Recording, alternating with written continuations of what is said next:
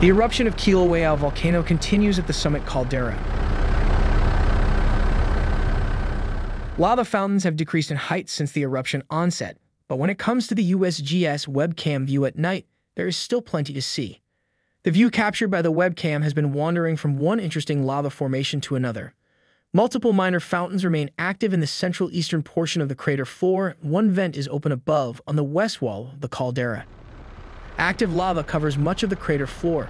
The Hawaiian Volcano Observatory says the very earliest phases of this eruption appears to have an effusion rate that was significantly higher than the previous three Kilauea summit eruptions. An average effusion rate of approximately 150 cubic meters per second is estimated for the initial 24 hours of the event. On Thursday evening, the lava appeared to be somewhat stagnant when viewed in real time. However, when the webcam video is sped up, the pattern of lava circulation becomes evident.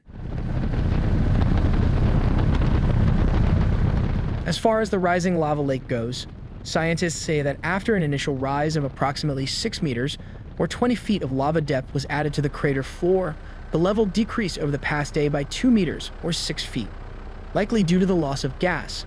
Geologists say this drop left a sort of bathtub ring of cooled lava along the cliffs at the edge of the crater floor.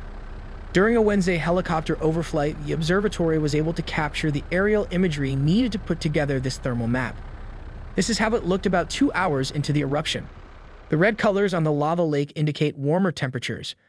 On Thursday, the observatory lowered the Kilauea alert level from warning to watch after the initial high effusion rates declined and no infrastructure was threatened. The aviation color code dropped from red to orange because there is currently no threat of significant volcanic ash emission into the atmosphere outside of the hazardous closed area. Still, volcanic gas emissions remain elevated. Approximately 65,000 tons per day of sulfur dioxide was measured on June 7th.